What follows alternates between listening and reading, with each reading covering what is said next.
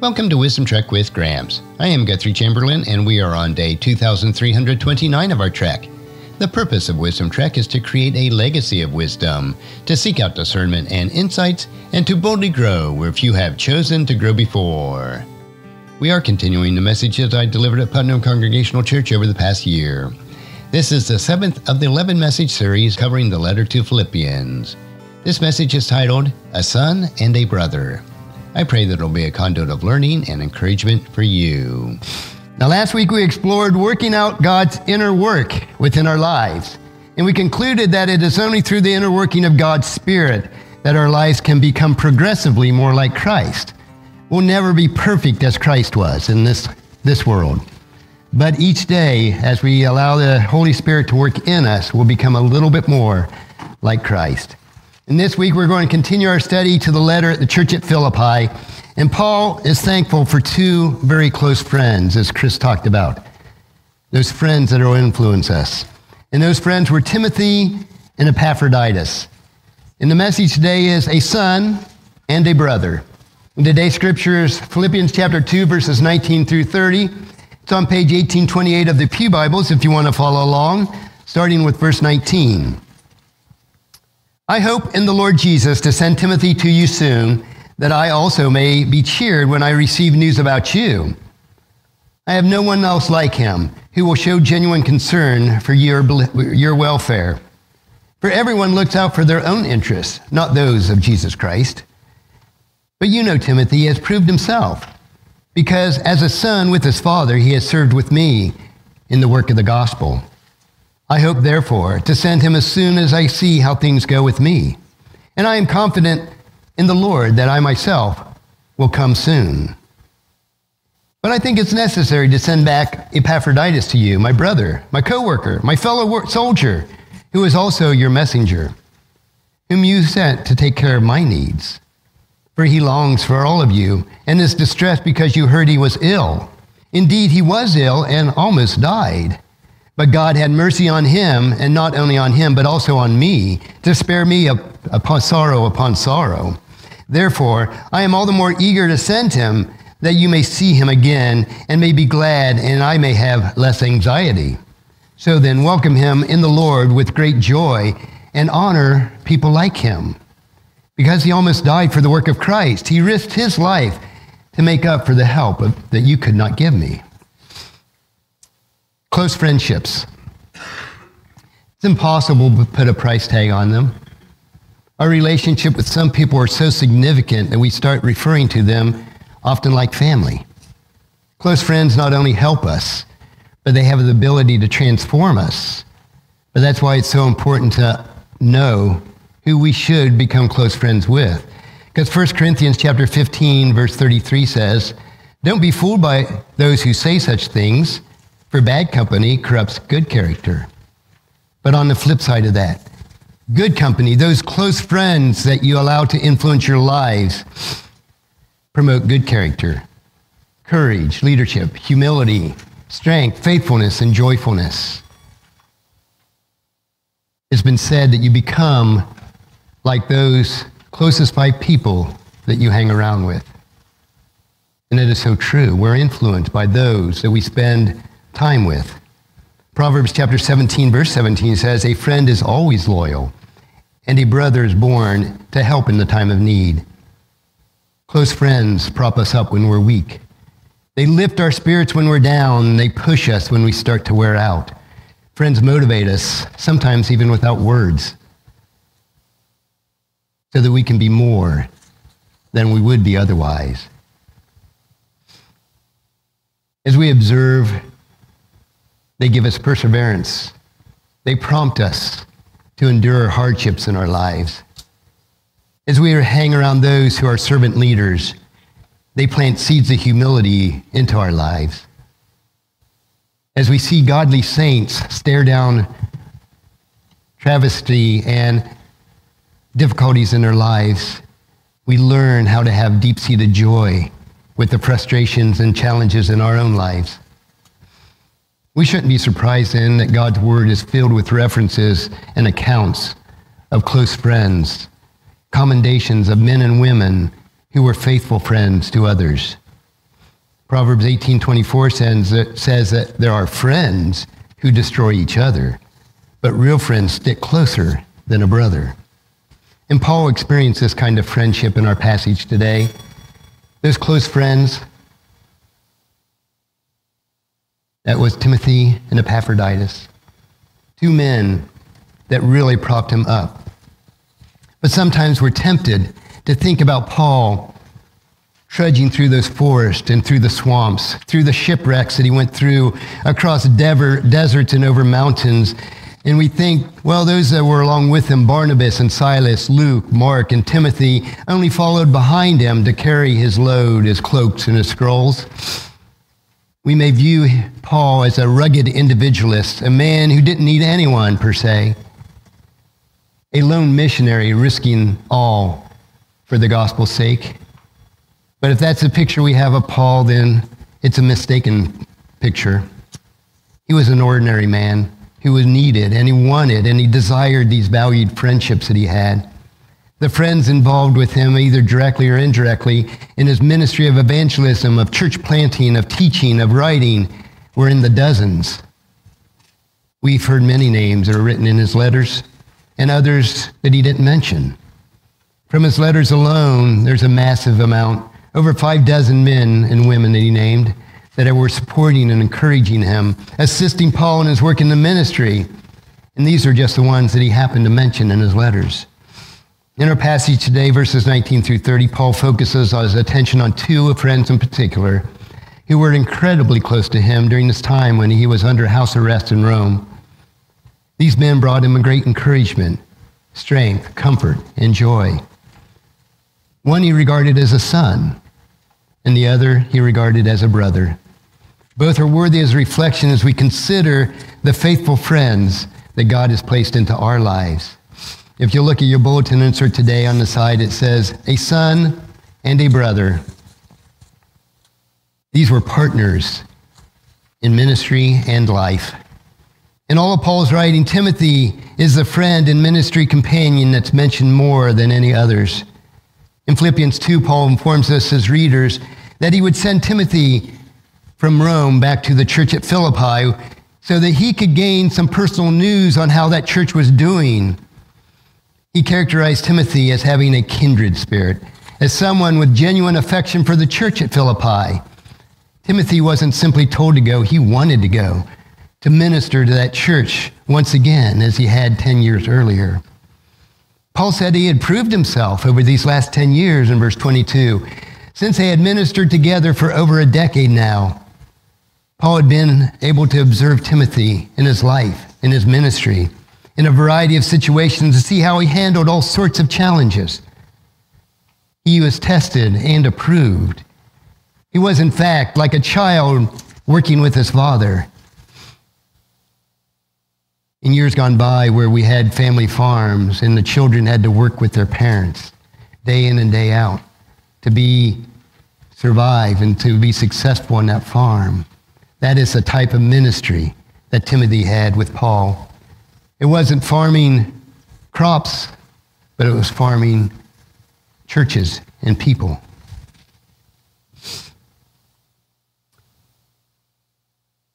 It reminded me of that close friendship that we now have with our children.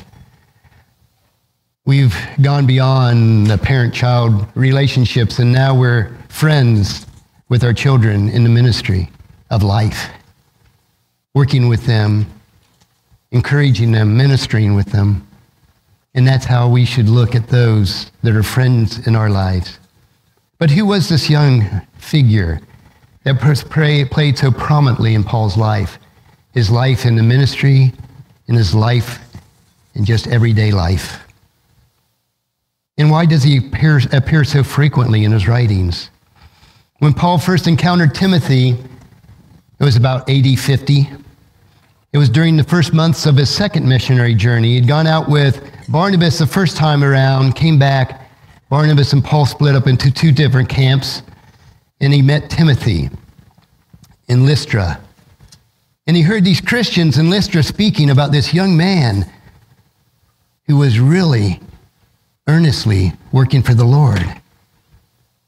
Though Timothy's father was a Gentile, and some assume because of that he was an unbeliever, Timothy was steeped in the Old Testament scriptures thanks to his mother, Jewish mother Eunice, and his grandmother Lois, as told in 2 Timothy. Paul found that Timothy was an ideal apprentice. He was just a young man, maybe even a teenager at this time. And much like himself, he was scripturally astute. He was a devout follower of Christ, but he had one foot in the Jewish camp, the Jewish world, and the other foot in the Gentile world. He was the perfect person that Paul was seeking. He had that perfect background for Paul's ministry. Paul's ministry, as he tells us in Romans chapter 1, verse 16, he went to the Jew first and also to the Gentiles.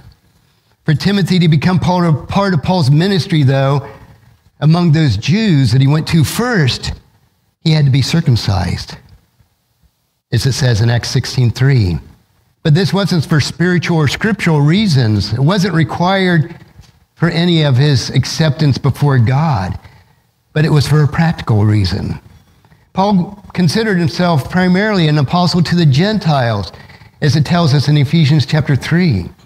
But whenever he entered a new city, he always went to the synagogue first to take the gospel to the Jews that were in that city before he went to the marketplace where the Gentiles were.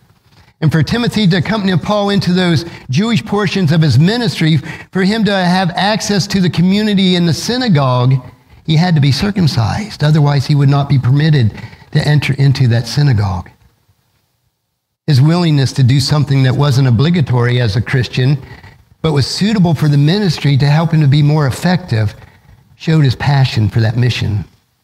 So after the years passed, Paul also found Timothy a kindred spirit as it says in verse 20 of our passage today. And that term translated kindred spirit is isopsychos. It comes from two Greek words, isos meaning equal, and psyche meaning soul or mind. It is essentially being of like one like mind or having much in common.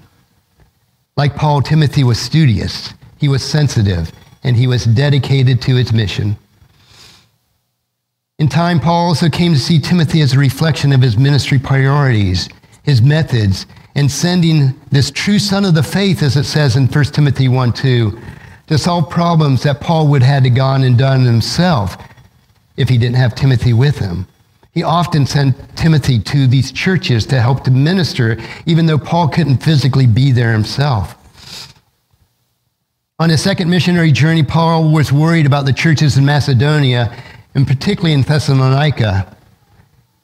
And he was afraid that because of the Jewish persecution that this church was facing, that they would succumb and go back to their old ways. So he sent Timothy to them to strengthen and encourage the members of that church, as we're told in 1 Thessalonians.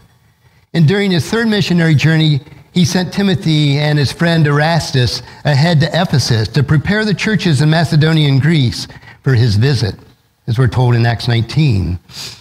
Then, in final preparation for his long anticipated journey to Spain, that was Paul's heart is to finally go to Spain because that was, at that point, the outermost regions of the world, known world. And he wanted to bring the gospel to that area.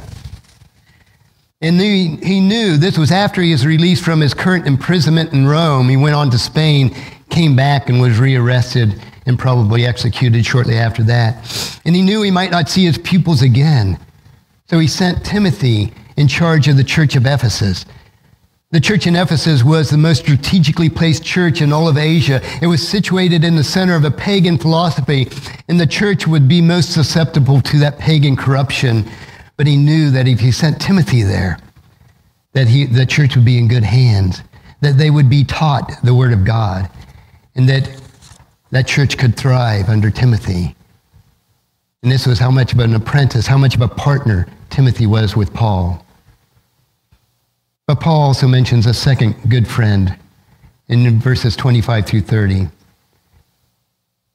And this friend only appears one time in the scripture, and that's in the book of Philippians, both in chapter 2 and chapter 4. But this brief snapshot gives us a clear picture of Paul's friend. To Paul, Epaphroditus was a brother, he says. a fellow worker, a fellow soldier, a messenger, a minister in verse 25. And while visiting Paul from Philippi to deliver a financial gift to Paul's ministry from that church in Philippi, Epaphroditus fell very ill, teetering on the brink of death. And what I find most remarkable is that while he was deathly sick, though, Epaphroditus was distressed because he was worrying what the Philippians would think about his illness that he caught. But thankfully, God had mercy on Epaphroditus and restored him to health, relieving both the Philippians and Paul of the anxiety that they were having over the illness and near death of Epaphroditus. Though having a faithful friend in Rome would have been ideal for Paul, because Epaphroditus helped him so much. The Apostle Paul was willing to send Epaphroditus back to that church at Philippi to deliver the very letter that he was writing at that time to the church on Paul's behalf. You might say, well, why didn't Paul keep him around? He could have sent it by some other courier, some other person. Well, Paul likely wanted to ease the minds of those believers back in Philippi because they're the ones that sent Epaphroditus to Paul to deliver this gift for his ministry. But they were worried about Epaphroditus' safety and his health, and probably wondering, well, maybe they made a mistake in sending him in the first place. If they hadn't sent him, maybe he wouldn't have become ill and almost die. So Epaphroditus was sent back to his home church. And it was an excellent way of Paul saying thank you to the church at Philippi for their contribution to his ministry. Now, Paul knew Epaphroditus would return to the Philippians and that they would rejoice because of this in verses 28 and 29. However, it is possible that some within that church at Philippi might thought maybe he failed in his mission and that's why Paul's sending him back to us. Maybe he failed in his purpose of going there. Maybe he, they expected him not only to deliver that financial support that they sent with him, but also provide physical assistance while Paul was still remained in imprisonment there in Rome.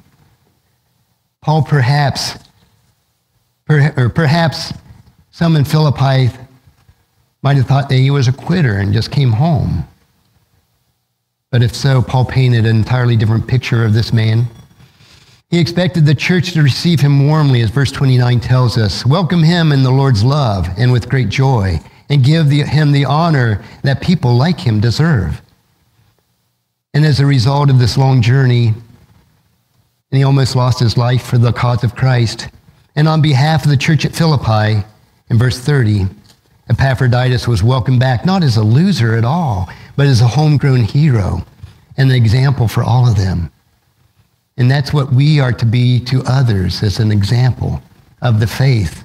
And that's why it's so important as we associate with close friends that those people that we associate with are an example of Christ to us. But what's the application in our passage today? It's on the other side of your bulletin insert. insert. Application of Philippians 2, verses 19 through 30 is two orders of friends, and two orders means two examples of friends. Our closing hymn today, we're going to be singing What a Friend We Have in Jesus. Good old hymn. The first part of the stanza goes, What a friend we have in Jesus, all our sins and griefs to bear what a privilege to carry everything to God in prayer. That word uh, old, of that old hymn reminds us that Jesus is not just our God, our Savior, our King, but he is also a close, personal friend to each of us. He is available to anyone at any time. He exemplifies selfless humility. He exemplifies sacrificial love. He exemplifies patience toward people who can never repay him for his affection toward us.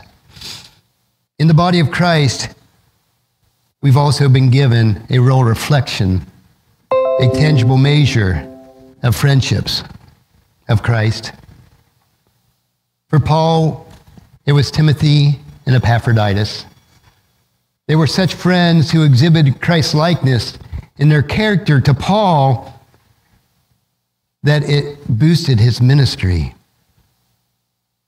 And let's consider a little bit more closely those two friends of Paul and think how they apply to our lives.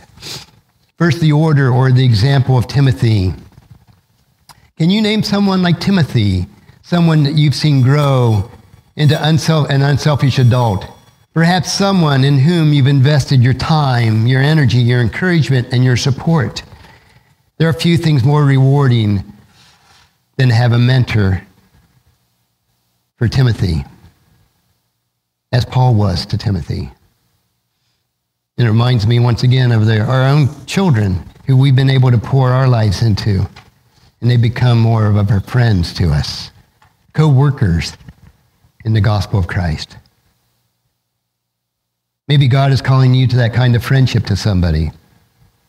Perhaps you can help them further their education or support them in their work or their ministry, or take them under your wing and mentor them and counsel them through difficult times of life as we all go through. Those of us who've been through difficult times need to be there for those younger people that are going through those difficult times. Or maybe you need to be a Timothy to someone else. Lord has blessed Putnam with many people who have lived long lives. Maybe we need to step in and help those and become a Timothy to those that are older than us.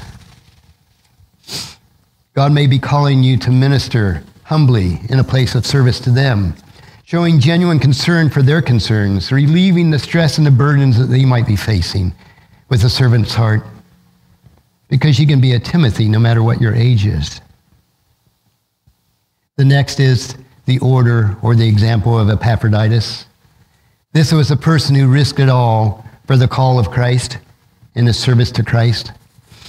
He was willing, are you willing to join the ranks of Epaphroditus? The truth is that every time that we minister to somebody in need, we risk ourselves in some way or, or fashion. Every time. You risk being taken advantage of when you help others.